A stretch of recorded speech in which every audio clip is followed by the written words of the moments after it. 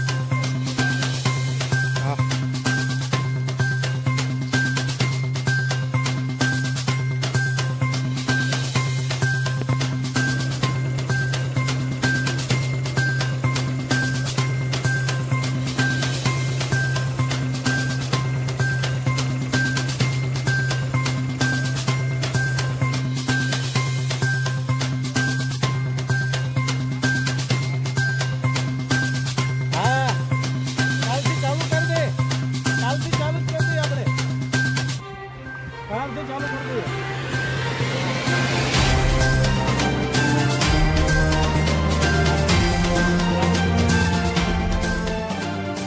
આપે ભાઈ આ બધું એવું બધું થાય પણ આપણે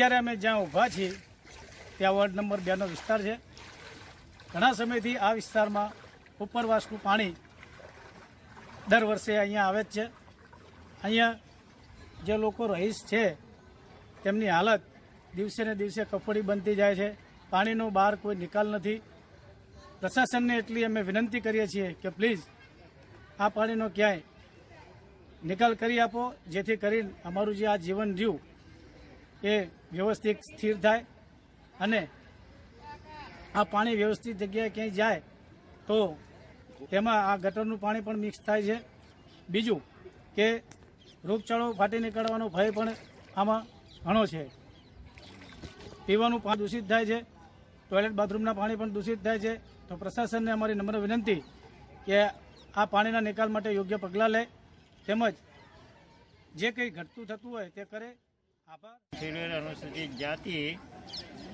પરવાડી દરવાજે રહું છું. હાલ અમે સોનબામાં વડાપ્રધાન આવાસ યોજનામાં ત્રીસ મકાનોનું કામકાજ ચાલુ છે. પણ વરસાદના કારણે કુંવરબામાં પાણી જવાનો કોઈ બહાર માર્ગ નથી. બહાર હાઈવેના રોડો બોડો બની ગયા. એટલે ગટરમાં જે પાણી જતું હતું એ બધું બંધ થઈ ગયું છે. એટલે અમારે છેલ્લા ત્રણ દિવસથી આ તકલીફ છે. બોલો.